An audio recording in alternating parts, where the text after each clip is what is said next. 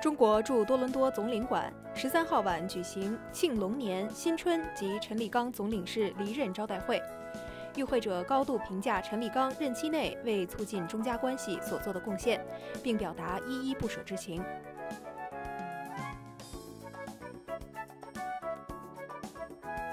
联邦议员 Mark Adler 代表总理哈珀及移民部长肯尼，祝贺华人新春快乐，并称赞陈立刚。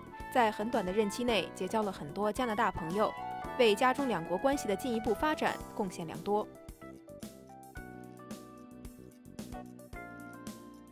临别之际，陈立刚深深感谢华人华侨、中资机构和留学生代表作为民间大使、文化大使、形象大使、亲善大使，在促进中加关系方面做出的重大贡献。希望大家一如既往支持新任总领事及中领馆的工作。尊敬的张君赛大使，呃，林立主席，留学留学生代表，各位嘉宾，各位侨胞，各位朋友，大家晚上好。今天我们在此欢聚一堂，庆祝龙年的到来。首先，我代表中国驻多伦多总领馆。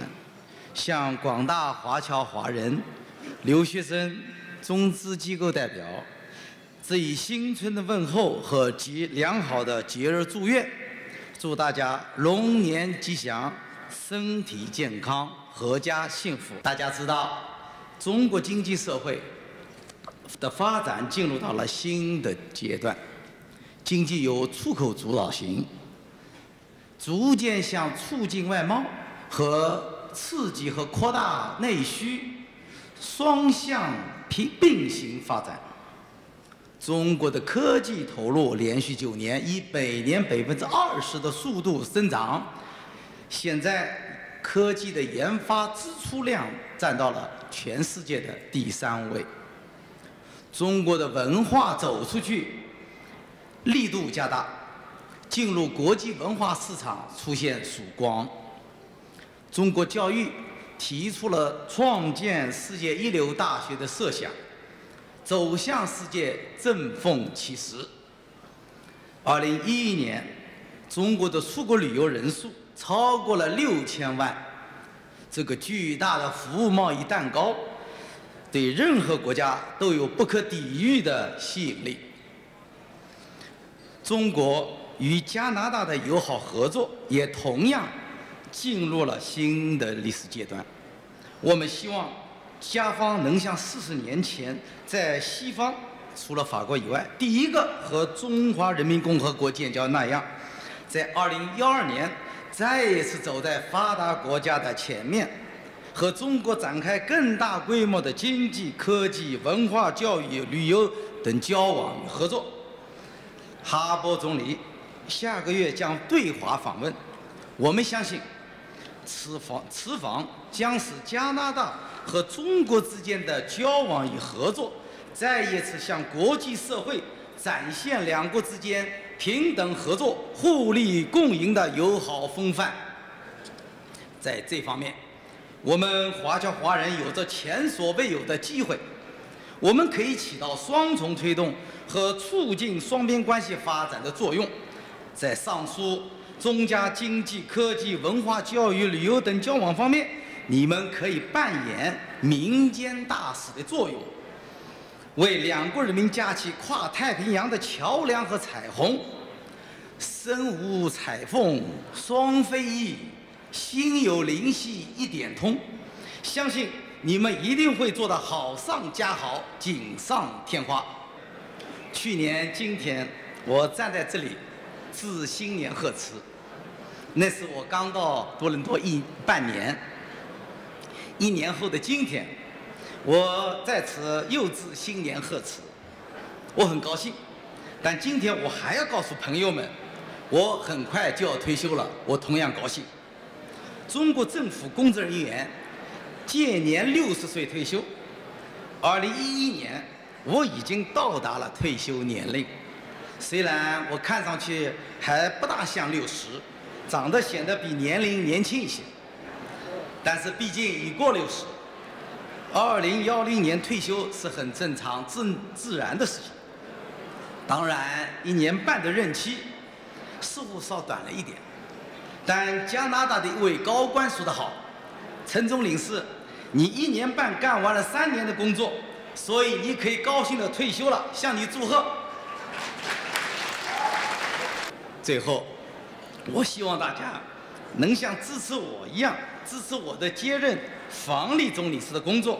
房总是一位经验丰富的外交官，相信他的工作将会有新的特色。我也相信各位将会一如既往地支持中国驻多伦多总领馆的工作，从而使总领馆与能与加强与侨胞的联系和更好地为你们服务。中国的龙年即将来临，龙年意味着龙马精神，龙腾虎跃，龙吟虎啸。借此机会，我也恭祝大家新年大好，龙年大吉，新春大喜。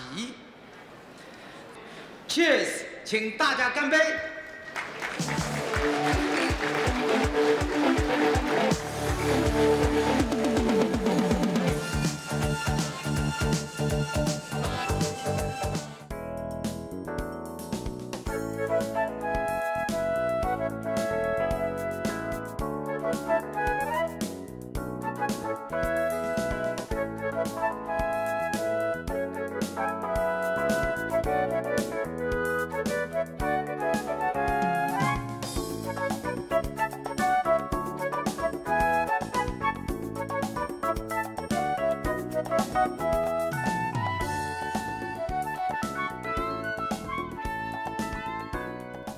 安省旅游文化及体育厅长陈国志，多伦多市市长福特，列治文山市市长巴罗，华联会主席林立，留学生代表陈哲也在招待会上致辞。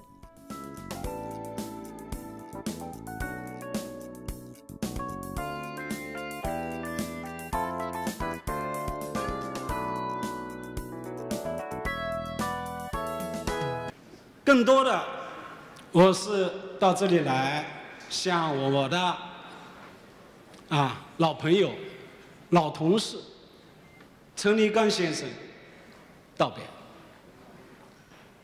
我觉得这一位陈总这一位非常资深、非常敬业的外交官啊，真是啊这个感到啊舍不得。他是我的老同事、老朋友，我讲了。我们都是从去年二零一零年到的加拿大，但是呢，他比我到了提前两个月，所以呢，他是相比较我而言，他是老加拿大人了。所以呢，这个前两天啊，我翻看了一下，过去一年，我同陈总领事啊一起在。多伦多活动的照片，和总领事一起在渥太华啊一起相聚开会聊天的时候的时光，加起来有二十多场。这说明过去一年我到多伦多来起码有二十来次，二十来次，嗯。所以呢，就是说啊，回顾。我们一起工作，共同的时间，同时我也回顾过去一年中加关系确确实实取得了长足的发展，正像刚才陈总领事所讲的那样。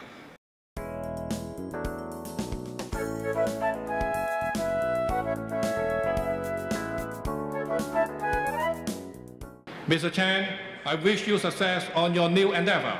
And to all of you who are here tonight, Happy New Year, Happy and prosperous New Year. Thank you very much.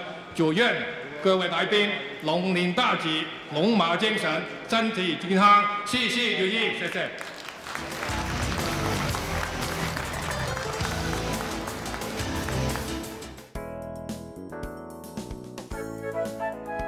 感谢收看今天的大豆故事，我们下期再见。